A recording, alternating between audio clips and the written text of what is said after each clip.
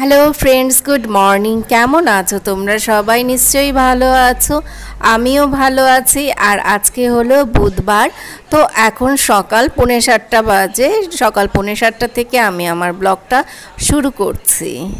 তো প্রতিদিনের মতো আমার ডেইলি রুটিন নিয়ে তোমাদের সামনে হাজির হয়ে গেলাম। আজকে সকাল থেকে আর ব্লগটা শুরু করিনি। ভাবলাম যে আমার রোজকার যেসব কাজকর্ম মানে স্নান করার আগে আমি যে কাজকর্মগুলো করে নেই ঘরে, সেই কাজগুলো আগে করে তারপরে ব্লগটা শুরু করি। তো বাসি কাজকর্ম মোটামুটি হয়ে গেছে। তো এখন আমি সবজি কেটে নিচ্ছি, আমি স্নান করতে যাব। তো ভাবলাম যে সবজিটা কেটে রাখি, তারপরে স্নানে যাই। এসে তারপর রান্নাবান্না শুরু করে দেবো। কৃপা সাড়ে ছটার সময় পড়তে চলে গেছে আর অর্জুন ঘুম থেকে আজকে তাড়াতাড়ি উঠে গেল, সাতটার সময় ঘুম থেকে উঠে পড়ল। তো ও এখন ওই ঘরে আছে। আমার কাছে এখানে এতক্ষণ বসেছিল। ওই দেখো আমাদের অর্জুন বাবা ঘুম থেকে উঠে গেছে আর উঠে কি সুন্দর পড়াশোনা করছে। কত গুড বয় দেখো। পড়াশোনা করছে না, বই পড়ছে। এটাকে পড়াশোনা বলে না। ও শুধু এখন বই পড়ছে। তো কালকে রাতে তো সেই একটা নাগাদ ঘুমিয়ে পড়ল। মানে অর্জুনের কাছে হলো গিয়ে সাড়ে বারোটা একটা, এগুলো হলো গিয়ে সঠিক টাইম তাড়াতাড়ি ঘুমানোর জন্য। তো যেহেতু তাড়াতাড়ি ঘুমিয়ে পড়েছে, ও তো এমনি আড়াইটা, তিনটা নাগাদ ঘুমায় বেশিরভাগ সময়। তো কালকে যেহেতু আর কি একটু তাড়াতাড়ি ঘুমিয়ে পড়েছে, সেই জন্য সকালবেলা তাড়াতাড়ি উঠে গেল। এবার ও বলছে, মোবাইল দেখবে। তা আমি বললাম যে, বাবা, তুমি একটু বইটা পড়ো। কিছু করতে হবে না, তোমাকে মানে স্কুলের কোনো পড়া করতে হবে না। এমনি তুমি ওই গল্পগুলো একটু পড়ো, একটু রিডিং পড়ো বলে আমি একা একা পড়তে পারি না। বললাম, চেষ্টা করো, ঠিক পারবে। তো সেই জন্যই বলছে যে আমি পড়ছি না মানে স্কুলের কোনো পড়া করছে না, ও শুধু বই পড়ছে। তো আমি এখন স্নান করতে যাব। ও উঠে গেল, ওর সাথে আবার এই দশ পনেরো মিনিট একটু ছিলাম, দেরি হয়ে গেল, স্নান করে এসে রান্নাটা বসাই। স্নান করে চলে আসলাম রান্না করতে, আর এখন রান্না করব হলো গিয়ে আলু পেঁপে দিয়ে একটা সবজি। তো আজকে দুপুরে আমাদের এমনিতে রান্না হবে পাবদা মাছ, ডাল, আর এই সবজিটা রান্না হবে। তো অর্জুন তো মাছ খেতে চায় না, ও তো মাছ খাবে না, তো সেই জন্য আমাকে এই সবজিটা রান্না করতে হচ্ছে। আবার এটা জানো তো, অর্জুনের বাবা খেতে পছন্দ করে না। কৃপা অর্জুন আবার এই রান্নাটা খেতে খুব পছন্দ করে। গোটা জিরে আর শুকনো লঙ্কা ফোড়ন দেয়া হলো। এবার এর মধ্যে দিচ্ছি আলু আর পেঁপে। দেখো, একটু বড় করেই কাটা আছে, কারণ প্রেশার কুকারে রান্নাটা করব তো, ওই জন্য ভাবলাম যে একটু বড় করেই দিই। আমি যদি এমনি কড়াইতে রান্না করতাম, তাহলে এতটা বড় করতাম না, একটু ছোট ছোট পাতলা পাতলা করেই কেটে নিতাম। যেহেতু প্রেশার কুকারে করছি, ওই জন্যই একটু আর কি বড় করে দিলাম। তো এর মধ্যে একটু হলুদ দিলাম, হালকা একটু ভাজা করব আর কি, আলু পেঁপেটা হালকা একটু ভাজা করতে হবে। আর ওই পাশে দেখো আমি একটা মশলা তৈরি করে নিচ্ছি, এলাচ আর গোটা জিরে একটু আর কি হালকা ভেজে নিচ্ছি। তারপরে এই ভাজা মশলাটা গুঁড়ো করে নেব। এলাচ আর গোটা জিরে একসাথে ভাজা করলে এত সুন্দর যে সেন্ট আসে, এটা আমার জানা ছিল না। ভাজা মশলা তো এর আগেও তৈরি করেছি। কিন্তু এলাচ আর গোটা জিরে দিয়ে আমি এর আগে কখনো ভাজা মশলা তৈরি করিনি। এই ফার্স্ট টাইম এটা বানালাম। তো খুব সুন্দর একটা গন্ধ আসছিল যখন এই ভাজা মশলাটা তৈরি করছিলাম। এবার এই আলু পেঁপের মধ্যে বেসিক যে মশলাগুলো থাকে, হলুদের গুঁড়ো, লঙ্কার গুঁড়ো, তারপরে লবণ আর হলো গিয়ে ওই জিরের গুঁড়ো, ধনে গুঁড়ো এসব রয়েছে। তো সেটা দিয়ে ভালো করে কষিয়ে নিলাম আলু পেঁপেটা। আর এ পাশে আমি একটু ঘি গরম করলাম।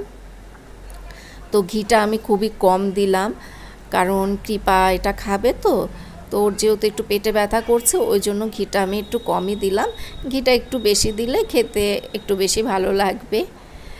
আর এর মধ্যে এখন দিলাম গোবিন্দভোগ চাল। মানে ধুয়ে রাখা গোবিন্দভোগ চালটা দিয়ে একটু হালকা ভেজে নিচ্ছি।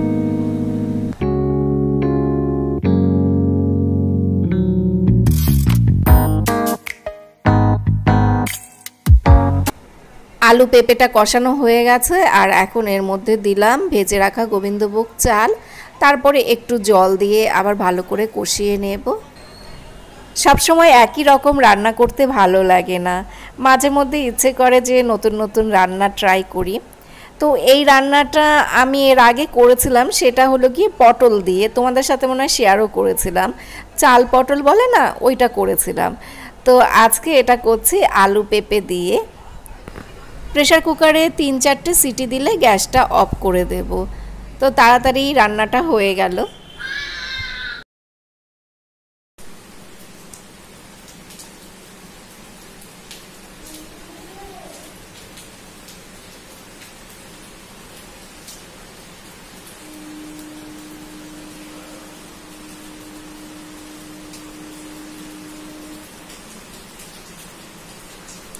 ওই দেখো আমার অর্জুন বাবা চিপসের প্যাকেট কোথায় ফেলে রেখেছে?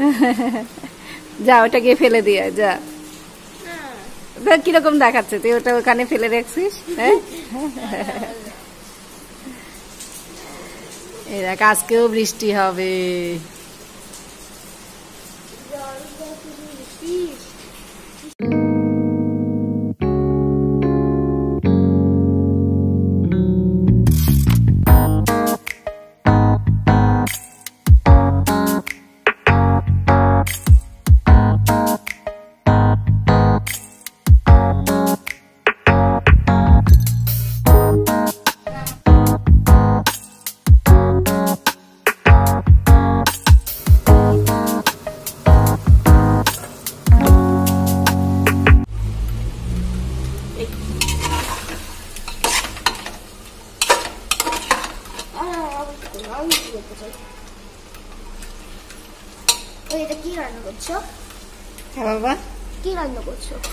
এটা। এটা আলু পেঁপে দিয়ে চাল দিয়ে একটা সবজি। এই ভাজা মশলাটা এর মধ্যে দিয়ে দেব হ্যাঁ? অর্জুন দেবে নাকি? কি করে দিবি? ধর ধর এটা ধর। প্লেটটা ধর হাতে ধর প্লেটটা। আস্তে। উহ বাবা হাতে লাগবে।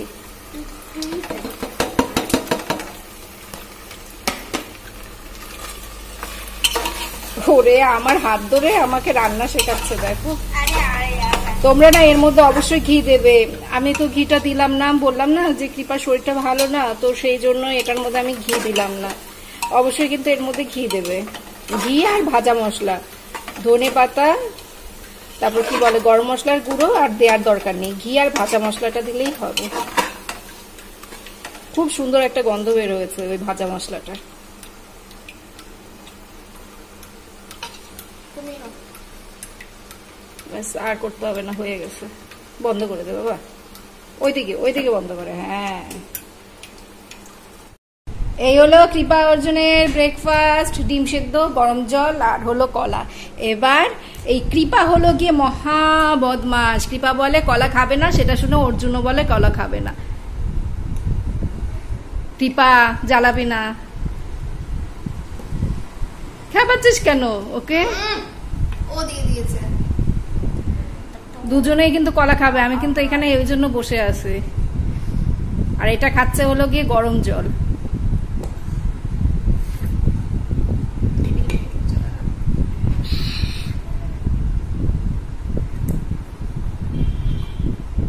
কি? মধ্যে খোসা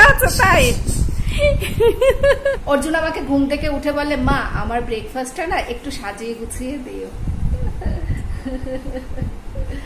ওদেরকে এইভাবে সাজিয়ে গুছিয়ে দিলে ভীষণ খুশি হয়। আর প্রতিদিন নতুন কাপ প্লেটে করে সাজিয়ে গুছিয়ে দিলে আরও বেশি খুশি হয়। আর যদি প্রতিদিন নতুন নতুন করে রান্না বানিয়ে দেয়, তাহলে আরও বেশি খুশি হয়। তো আজকে আমাদের দুপুরে রান্না হয়েছে এই দেখো টমেটো দিয়ে আর ধনে পাতা দিয়ে পাতলা মুসুরির ডাল। আর এ পাশে আছে হলো পাবদা মাছ। ফ্রিজে তিনটে পাবদা মাছ ছিল, তো সেটা টমেটো আর পেঁয়াজ দিয়ে রান্না করে নিলাম। সর্ষে পোস্ত দিয়ে আর রান্না করলাম না, কারণ কৃপার পেটে ব্যথা করছে তো, ওই জন্য।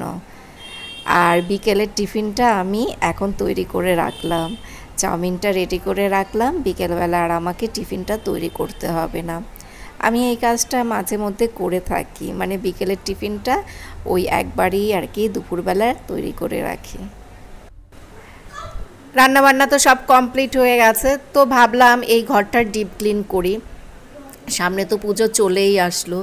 তো এখন থেকে যদি একটু একটু করে এই কাজগুলো না করি না, পরে আমার অসুবিধা হয়ে যাবে। কারণ বাড়িতে একটু জায়গা বেশি তো, ওই জন্যই মানে তোমরা আমাকে এত বেশি আর কি ঝাড়মোছ করতে দেখো। আমার বেশিরভাগ ব্লগগুলো আর কি ওই ধরনেরই থাকে। সকালবেলার দিকে এই কাজটা করিনি, কারণ রান্নাঘরের একটা চাপ ছিল। ওই জন্য ভাবলাম যে রান্নাবান্না সব কিছু কমপ্লিট করে, খেয়ে দিয়ে গায়ে শক্তি করে তারপরে এই কাজগুলো করব। কারণ ডিপ ক্লিন করতে গেলে তো অনেকটা সময় লাগে। তো এখন আস্তে আস্তে নিশ্চিন্ত মনে টুকটুক করে এই ঘরটা পরিষ্কার করে ফেলব।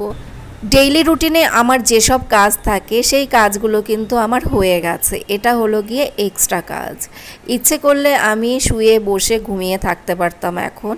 কিন্তু আমি ভাবলাম যে এই ঘরটা পরিষ্কার করে ফেলি, তো আমার সময়টাও সুন্দর কেটে যাবে আর ঘরটাও পরিষ্কার হয়ে যাবে। অনেকে বলে যে, তুমি কষ্ট করে কেন এই মানে এত কাজ করো? লোক দিয়েই তো করাতে পারো। এসব কাজ করার জন্য তো লোক পাওয়া যায়। আসলে কি বলো তো লোক দিয়ে না সব কাজ হয় না। মানে লোকের পেছনে তো সেই লেগে থাকতে হয়, আমাকে সব বলে দিতে হবে, এখানে পরিষ্কার করো, ওখানে এটা করো, সেখানে সেটা করো।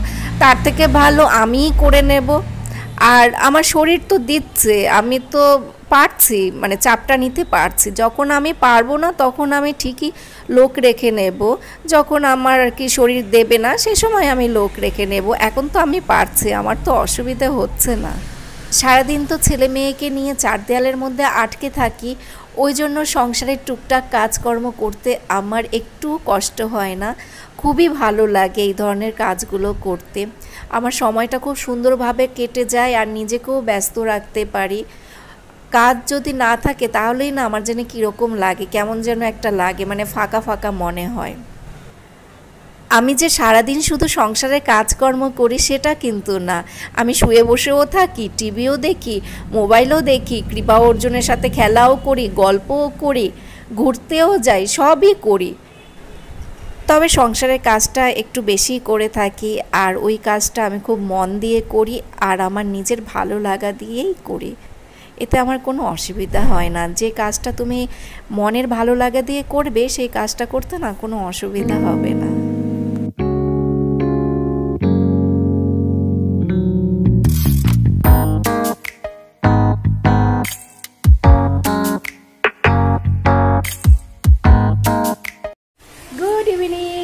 সাড়ে চারটে বাজে। তো দেখো কি বৃষ্টি হচ্ছে। সেই কটার সময় বৃষ্টি আসলো দুটো আড়াইটা নাগাদ। তো তখন বৃষ্টি আসলো, এখনও বৃষ্টি হয়েই যাচ্ছে। এরকম নাকি আরও কয়েকদিন বৃষ্টি হবে। তো আমি এই ঘরটা ক্লিন করার পরে এই স্নান করতে গেলাম। তার আগে স্নানের আগে দুটো বাথরুম পরিষ্কার করলাম। উপরের ঘরে দুটো বাথরুম পরিষ্কার করে মাথায় শ্যাম্পু করে স্নান টান করে আসলাম। দেরি হয়ে গেল অনেক। আসলে ডিপ ক্লিন করতে গেলে না অনেক দেরি হয়ে যায়। এর মধ্যে তো সেই ওদেরকে ভাত দিতে হলো, অর্জুনকে খাইয়ে দিতে হলো। না, অর্জুনকে আমি আজকে খাইয়ে দিইনি। না, আমি খাইয়ে দিইনি। আমি ভাতটা মেখে দিলাম তো এখন আমরা সবাই জানো তো, জি বাংলার রান্নাঘর দেখছি। আমার হাজব্যান্ডও বাড়িতে আছে, বৃষ্টি হচ্ছে তো, বেরোতে পারছে না। তো ওই জি বাংলা রান্নাঘরে কি দেখাচ্ছে জানো? গাড়িটা জেনে বলছি। রাজস্থানি থালি, বাহুবলি থালি বাহুবলি থালি দেখাচ্ছে। আমি এই নামটা কখনো শুনিনি, বাহুবলি থালি, এই নামটা শুনিনি। তো ওটা এখন দেখব। যদি ভালো লাগে তাহলে অন্য কোনো দিন তোমাদের সাথে এই রান্নাটা শেয়ার করব, বাহুবলি থালিটা শেয়ার করব। তো কৃপা অর্জুন দুজনেই এখানে আছে। পাঁচটার সময় অর্জুনের অনলাইনে ক্লাস হবে। আর আজকে তো একটা বেশ বুদ্ধিমানের কাজ করেছি। ওই বিকেলে টিফিনটা তৈরি করে রেখেছে আগেই। তো সেটা এখন ওরা সবাই খাচ্ছে, তরমুজ খাচ্ছে। আর চাউমিন খাচ্ছে। এই যে এই ঘরে সবাই আছে।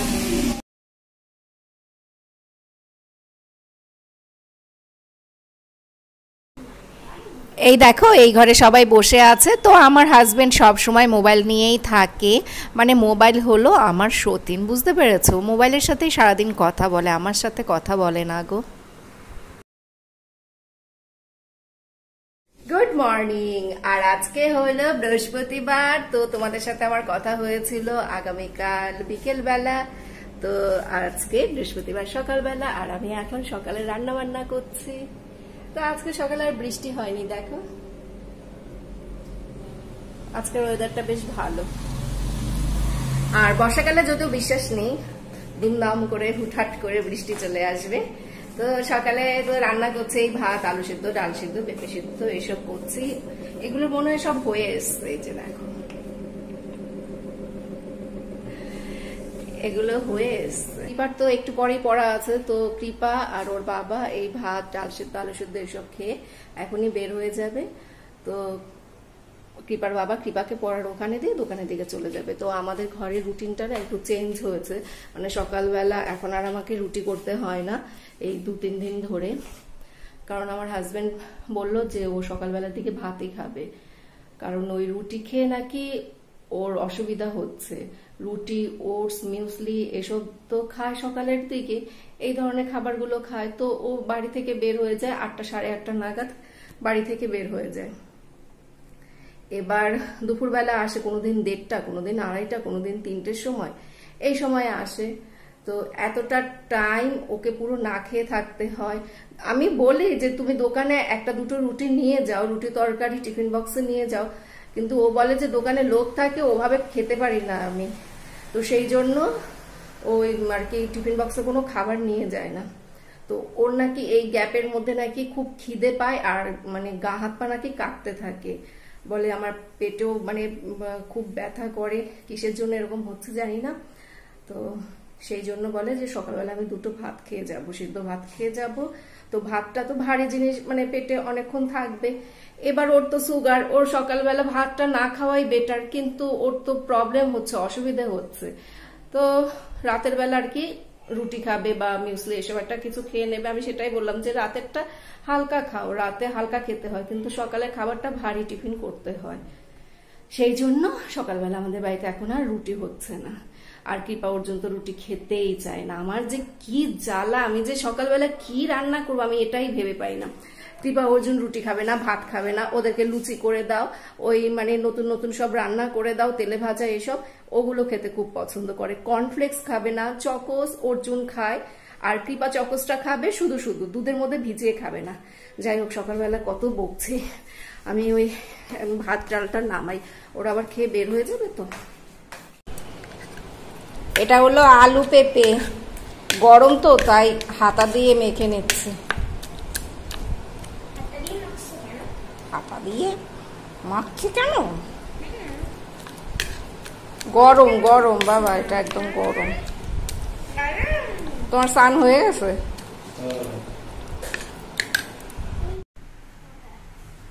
কত টাকা এটা? হ্যাঁ? তাহলে দোকানে গিয়ে কি বলবে?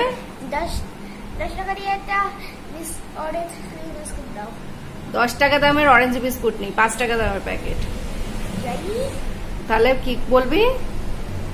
পাঁচ টাকা দামে দুটো বিস্কুট দিতে, তাই তো? দু প্যাকেট বিস্কুট দিতে। টাকা কি রিটার্ন পাবি না পাবি না? এদিকে হ্যাঁ? হ্যাঁ? টাকা রিটার্ন পাবি না পাবি না? পাবি না। এটা অর্জুন খাবে।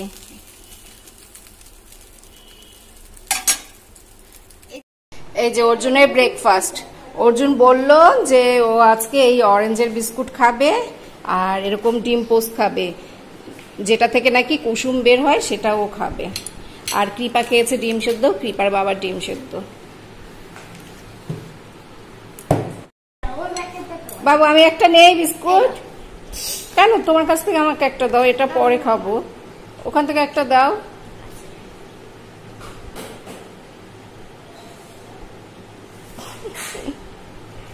নে খা তুই খা না তুই খা?